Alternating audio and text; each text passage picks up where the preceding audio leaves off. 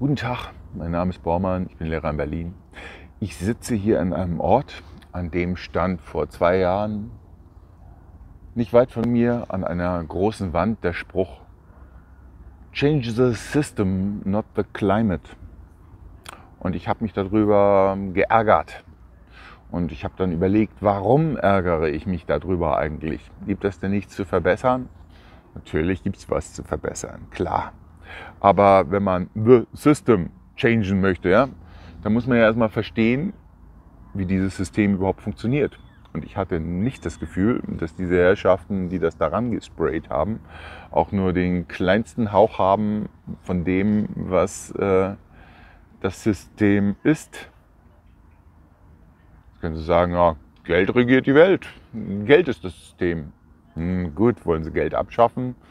Tauschhandel ist auch nicht der Hit. Ja, also ich weiß einfach gar nicht, was diese Herrschaften wollen, wenn sie das sagen. Change the system, not the climate. Ähm, nach meinen Berechnungen war es halt so, dass diese Klimafraktion, die das wahrscheinlich erfunden hat, ähm, tatsächlich glaubt, dass ein System Change durch eine CO2-Steuer ähm, erreicht werden kann. Nun gut, ich habe ein Buch gelesen von Herrn Edenhofer, das ist der ehemalige Chef vom PIK Potsdam, Potsdam Institut für Klimafolgenforschung. Und ähm, der hat dann auch klipp und klar gesagt in seinem Buch Klimapolitik, beim Klima, bei der ganzen Diskussion darum herum, da geht es nicht wirklich ums Wetter. Es geht nicht um die Temperatur. Es geht auch nicht um den Meeresspiegel. Es geht darum, die Welt in einen besseren Zustand zu versetzen. Eine Welt zu schaffen, die gerechter ist. Zu arbeiten an der Agenda 2030 der Vereinten Nationen. Ja. So, jetzt fragt man sich nur, ähm, warum packt man das nicht mal ganz sauber und transparent auf den Tisch? Warum verbreiten das die Massenmedien bei uns nicht genauso, wie das der Herr Edenhofer vom PIK gemacht hat in seinem Buch Klimapolitik. Weil die Politiker natürlich wissen, dass sie mit massivem Widerstand zu rechnen haben, wenn es um Umverteilung von Wohlstand geht. Gut, wieso geht es um Umverteilung von Wohlstand? Nun gut, äh, wenn man so ein Ideologe ist, so ein Globalist, so ein Internationalist, so ein ich habe da noch ein paar andere Worte dafür, dann ähm, glaubt man tatsächlich, man könnte von oben herab die Welt regieren. Ja?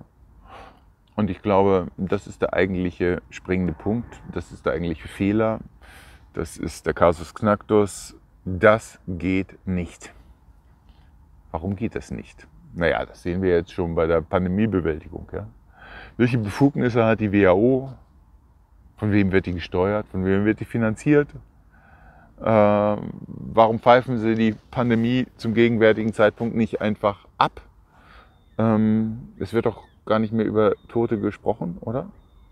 Sie haben ja nach wie vor keine Obduktion vorgenommen im größeren Maßstab.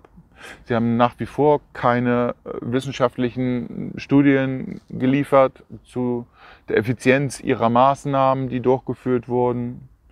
Nun gut, also die WHO ist da schon besser als die Bundesregierung, aber immer noch weit weg von Objektivität, von Evidenz. Und ähm, dieses System funktioniert nicht. Ja? Alles, was mit zentraler Steuerung zu tun hat, mit Planwirtschaft, fährt irgendwann über kurz oder lang gegen die Wand. Warum? Weil es an den Bedürfnissen der Menschen vorbeigeht. Ne? Und mein Bedürfnis für mich ist erstmal mitreden zu dürfen. Das ist das erste Bedürfnis. Ja. Es gibt Leute, die gehen dann noch ein Stückchen weiter und sagen, wie so mitreden. Die anderen haben mir doch gar nichts zu sagen. Ich mache mir hier einen Zaun um meinen Schrebergarten und dann sollen die mal alle schön draußen bleiben. Das ist meins. Äh, das Gefühl, etwas zu besitzen, ist, glaube ich, wichtig. Hm? Der eine liebt sein Auto, der andere liebt sein Haus, der nächste liebt seine Gitarre. Es gibt Dinge, die mag man, mit denen identifiziert man sich. Und ähm, das ist sozusagen der letzte Halt, der letzte Rückzug, wenn um einen herum zu viel Repression herrscht, ist, ausgeübt wird von den Mächtigen. Gut. Nein, nicht gut. Repression ist so ziemlich das allerletzte, was die Menschheit braucht, finde ich. Sagen sie, oh, da laufen doch genügend Banditen rum, die muss man doch tracken den ganzen Tag. Ich will doch wissen, wo die rumlaufen mit ihrem Messer in der Tasche, ja, wo diese Raser über den Kudamm sausen, wenn die jetzt alle einen Chip drin hätten, da könnte ich sie live verfolgen und da könnte ich schon eine Drohne hinterher schicken und die dann stoppen, ja, in dem, was weiß ich, das Auto in voller Fahrt einfach automatisch gebremst wird von, ja, aber mein Gott, kann man das nicht anders machen? Die Autohersteller haben doch sowieso Systeme drin, die genau wissen, wo dieses Auto sich gerade befindet. Und es gibt auch Karten, auf denen eingetragen ist, an dieser Stelle herrscht Tempo 30. Warum kann man nicht ein Auto bauen, das maximal so schnell fährt, wie es an dieser Stelle vorgeschrieben ist? Darüber wollen Sie nicht nachdenken. Ja? Okay, dann sind Sie aber kein System Changer, ja, wenn Sie keine guten Ideen haben. Ingenieure waren schon immer System Changer. Ich bin ein System Changer. Ich bin ein Ingenieur. Ich denke über gute Lösungen nach. Aber diese Herrschaften, die einfach an die Wand schmieren, change the system, not the climate, haben keine Ahnung von Tuten und Blasen. Es wäre mal langsam an der Zeit, dass die auf mich zukommen und sagen, hey Bommann, sei du doch mal unser Berater. Nicht die komische amerikanische Beratungsgesellschaft mit diesen Youngstern, die gerade aus der Uni rausfallen. Sorry, die wollen einfach nur viel Geld verdienen, sich ein Haus bauen, eine Familie gründen, ein Auto kaufen. Aber ich bin damit fertig. Ich kann mich um das Thema kümmern. Ich kann viel konzentrierter am System Change arbeiten. Und ähm, Sie wissen jetzt, was ich damit meine. Ja? Also nicht da oben in den Vereinten Nationen eine neue Schraube in den Schreibtisch zu drehen, sondern hier vor Ort mit meinen Nachbarn zusammen mal einen Brief zu schreiben, zum Beispiel an den Bürgermeister und zu sagen, Junge, kümmere dich mal wieder um Politik. Mach mal wieder Infrastruktur. Ja? Mach mal wieder Bildung. Wie wäre es mit ein bisschen Soziales? Hier vor Ort, hier bei mir um die Ecke. Hier, für die alte Dame hier, dass die nicht stolpert auf diesem Gehweg. Ja. Hier, für unsere Kinder, ja, dass die wieder in die Schule gehen können. Vor allen Dingen ohne Maske, dass sie mit vollem Sauerstoffgehalt im Hirn arbeiten können. Hm. Sie sich wohlfühlen bei Pädagogen wie mir. Ja. Sie nicht immer mit dem Daumen von oben traktiert werden. Und ähm, ja, klar gibt es Leute, die sowas möchten. Aber die werde ich nicht wählen. Schon mal klar. Und ich bitte jeden denkenden Menschen darum, dass wir dieses alte System, dieses repressive, dieses System der Angst und der Panik, dieses System der Narrative, die, die nichts anderes äh, zur Folge haben werden wie neue Geschäftsmodelle. Ja? Abschaffen. Ja? Warum sage ich das so? Narrativsystem. Na, das Narrativsystem ist genau das, was sich die äh, Lobbyisten haben einfallen lassen, um uns auszubeuten. Das muss ich mal so deutlich sagen. Wenn Leute den Spruch Change the system, not the climate an die Wand schreiben, dann sollten sie sich darüber im Klaren sein, dass sie über die neuen Lösungen nachdenken müssen. So, die neuen Lösungen, sind die wirklich besser als die alten? wie sieht die Gesamtenergiebilanz aus? Ja? Wie sieht es mit den Kosten aus für die Gemeinschaft? Ja, wie kann man das System so bauen, dass es besser funktioniert als das alte? Wenn es einfach nur zusätzlich zum alten kommt oder das alte System einfach nur weitergeschoben wird nach Rumänien, Bulgarien, Indien, China, na gut, die haben selbst äh, neue Elektrofahrzeuge, hm, dann bringt das nichts. Ne? Oder wenn in China 1000 Kohlekraftwerke gebaut werden, werden wir unsere abschalten, ist das auch ein Schwachsinn. Ja, wenn man anderen einen Freibrief für Dinge gibt, die man den eigenen Leuten verbietet, auch Schwachsinn. Das ist alles ähm, genau das System, was wir abschaffen müssen. So. Also, wenn wir alle mal ein bisschen genauer hingucken würden, was da alles abzuschaffen ist. Es ist die reine Freude. Wir würden nur Geld sparen. Ja. Ich habe jetzt gerade bei Russell Brand gehört, ähm, ja, das ist ein amerikanischer YouTuber mit dreieinhalb Millionen Followern, der sagte, das Pentagon hat gerade sein Etat aufgestockt von irgendwie 700 und Milliarden nochmal äh, 25 obendrauf. Es gibt wohl Amerikaner, die behaupten, diese 25 Milliarden obendrauf, die würden schon mal reichen, um in den USA alle Obdachlosen aus ihren Zelten in Unterbringungen zu bringen, die etwas menschenwürdiger sind als dieses auf der Straße leben. Tja, ähm, das ist nicht gewollt. Es ist gewollt, dass die aktuellen Lobbys weiter gefüttert werden.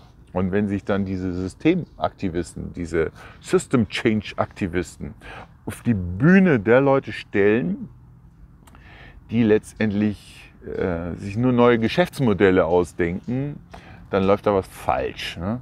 Also Change the System, not the Climate kann man nämlich dazu benutzen, um das alte System einfach nur zu erneuern, um ja, alter Wein in neuen Schläuchen, hat man früher dazu gesagt. Ne? Also die Menschen merken das gar nicht so wirklich, wie sie verarscht werden. Also je schneller ein neues Geschäftsmodell kommt, je breiter es ausgerollt wird, desto größer wird das Geschäft sein.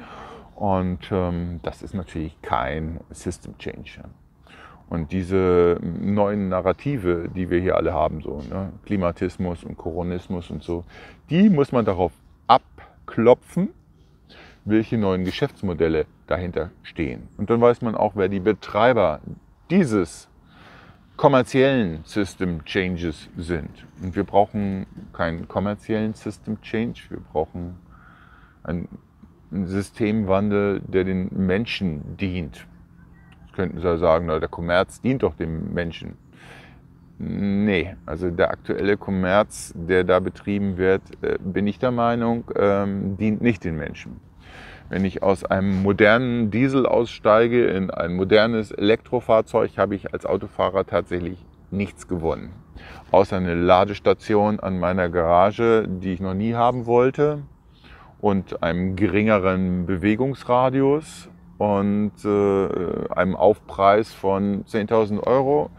Äh, das ist nichts. Das ist kein Angebot, was ich annehme, das ist Blödsinn. So, nächste Angebot, ne? Koronismus. Leute, ihr habt kostenlose Tests, die sind nicht kostenlos, die zahlt der Steuerzahler. So. Leute, ihr habt kostenlose Impfung, die sind nicht kostenlos, die zahlt der Steuerzahler. Diese Leistungen zahle ich als Bürger dieses Landes, als äh, quasi Dulder dieses alten Systems. Ja. So, und äh, wenn jetzt auch noch kommt, ihr müsst euch impfen lassen, das ist die alte Repression, das ist die alte Unterdrückung, das ist das alte System.